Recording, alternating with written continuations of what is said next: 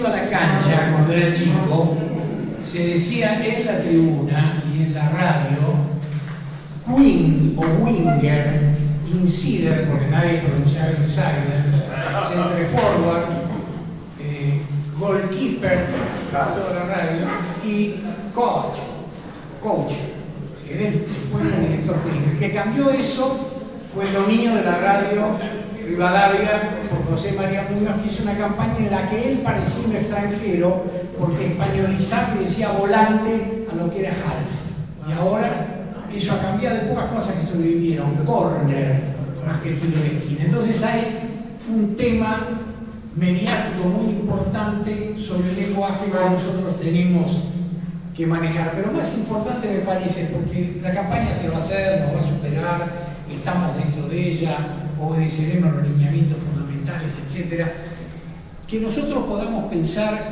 y discutir en carta abierta temas centrales de nuestro mundo.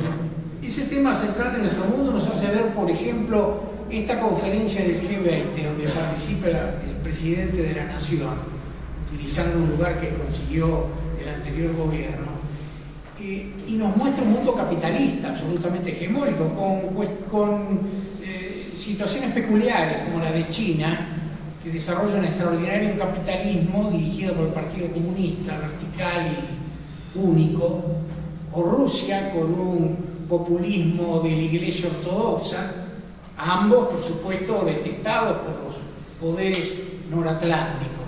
Pero eso se, se ha establecido un dominio tan brutal en el mundo que nosotros deberíamos discutir esto. Desde la caída del campo socialista, la modificación ha sido tan, brutal, tan notable, que no hay alternativas que levanten eso y hasta los conceptos nacionales populares son arrollados. En ese sentido yo creo que nosotros tenemos que emplear firmemente el tema del sistema. Guillermo Vierba eh, planteó algo de esto. Es decir, acá hay un sistema que maneja intereses y eso es lo que se impone, no la definición individualista y moralística de la corrupción.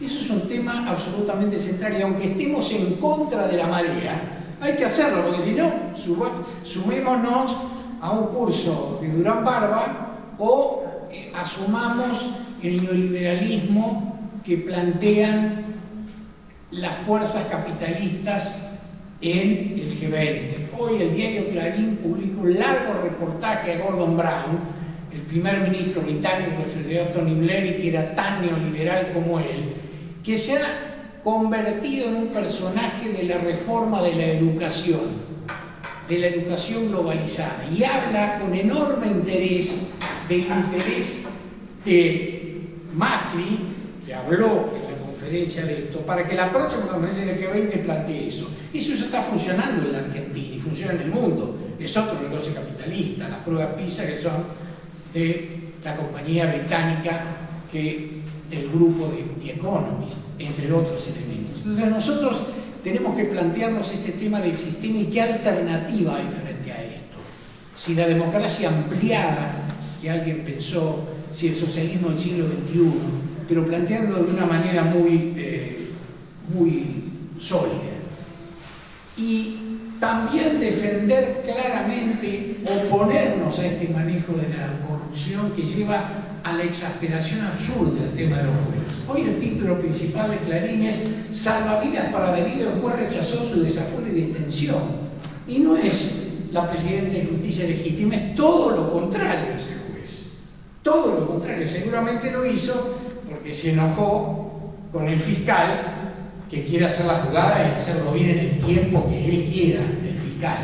Y el juez le dijo que no, entonces ha hecho quedar ridículo a esa mayoría de la Cámara de Diputados que planteó un tema que deberíamos terminar, se dijo acá, que hay que volver a decirlo, los fueros son de la Cámara, para proteger la representación popular. Si alguien, si un diputado va preso ahora y no renuncia, no puede ser reemplazado, porque no hay posibilidad de utilizar suplentes. Entonces intentamos el funcionamiento del sistema político si no, no vamos a andar. Y la corrupción de la Cámara de Senadores es la manifestación clara del ejercicio de la presidencia como monarquía en la Argentina desde que lo entendió así Alberti, y que ejerce un poder sobre las provincias que no importa quién gobierne.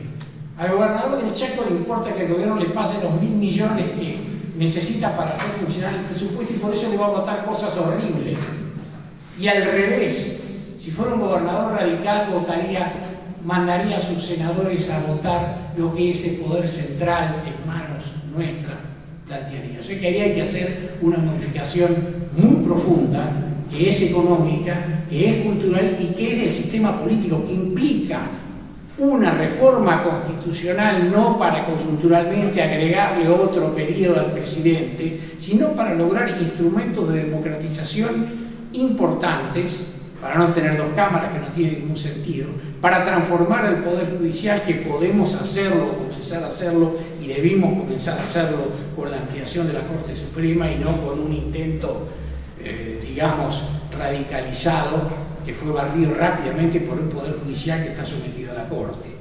Entonces creo que ahí tenemos que pensar a fondo lo colectivo, tenemos que pensar a fondo que tenemos que rescatar la noción de partido político con el criterio movimentista, con el criterio de pero con un criterio democrático y con un criterio de discusión y de elaboración y de producción de ideas que vayan contra la corriente. Si nosotros no planteamos en los medios posiciones diferentes, esas posiciones nunca van a estar en discusión en la sociedad. Y si creemos que nunca las vamos a poder plantear porque el dominio ominoso de los grupos monopólicos ejercen una posición tal que no nos podemos mover, entonces vayamos a casa. Yo creo que nosotros tenemos que levantar esa fuerza de los partidos, debemos recuperar por la democratización sindical los sindicatos, debemos integrar todas las organizaciones de sectores culturales y de género para conducir una política, para plantear debates, para escuchar a la gente, ¿sí? Pero no por el coaching de una campaña, que ahora la cambiamos porque Durán Barba funciona y tenemos un Durán Barba B, sino porque necesitamos plantear nuevas ideas, necesitamos poner la agenda nosotros, luchemos por poner esa agenda.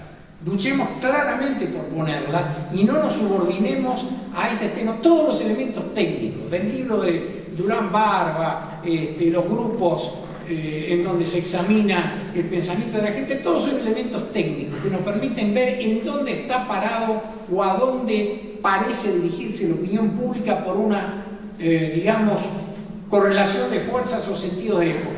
Y ahí lo que tenemos que pensar nosotros es cómo lo nuestro entra dentro de eso. El 10% en contra del 90%. Por supuesto con inteligencia. No vamos a hacerlo con los que son herederos de ese pensamiento que dijo hay que introducirle la conciencia de clase porque si no estos animales no saben para dónde ir. Hay una función pedagógica y hay una función de representación. Hay planteos de nuevas ideas y por supuesto de desarrollo y argucia política, de inteligencia. Pero nosotros también en este debate sobre sistema y luego corrupción, nosotros tenemos que decir cosas muy sencillas, no hace falta aprobar 40 leyes. Con las leyes que estaban vigentes funcionaban las cosas bien, salvo cuando el dominio del gran capital, que se pasa todas esas leyes, por donde sabemos, nos hace o una posición monopólica o una posición dominante o la cartelización de las licitaciones públicas que ya ha sido expuesta muchas veces aquí.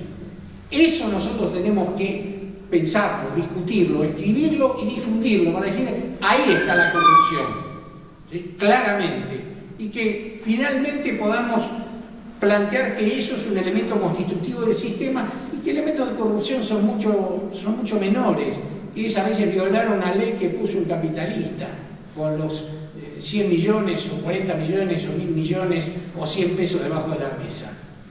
Pero el tema central es esa estructura capitalista que está bajo la forma de la financiarización en un mundo caotizado, con enfrentamientos que nos pueden llevar a la guerra nuclear, con componentes religiosos impresionantes que se cruzan en todo esto. Por ejemplo, el debate entre Qatar y Arabia Saudita en dos países que son sunitas y que además tienen la misma tradición salafista, más reaccionaria, y sin embargo hay conflicto. Por eso el conflicto en nuestra época es complejo. Expliquemos la complejidad del, conflicto y no nos paremos solamente a decir, bueno, ¿qué perdimos? ¿Qué dejamos de ganar? Uno de esos elementos tiene que estar presente, pero nosotros tenemos que ir a plantear el fondo de las cosas. Eso lleva tiempo y después el cambio se da también por oportunidades políticas que no son plenamente anticipadas. diría un amigo nuestro, a ver si sabemos si Lenin se avivó de la revolución rusa. Cuando empezó la revolución, Lenin hubiera necesitado el teléfono, digamos, el teléfono celular para que le avisara, se enteró bastante tarde y no podía hacerlo. ¿Qué iba a hacer? Lo que dijo es, esto es una revolución, vamos para allá. Entonces, luchemos sin tener ese complejo de minoría, pero sin tener el problema de que una minoría piense y discute, sabe hasta dónde avanza, pero no renuncia al pensamiento y no renuncia al debate democrático.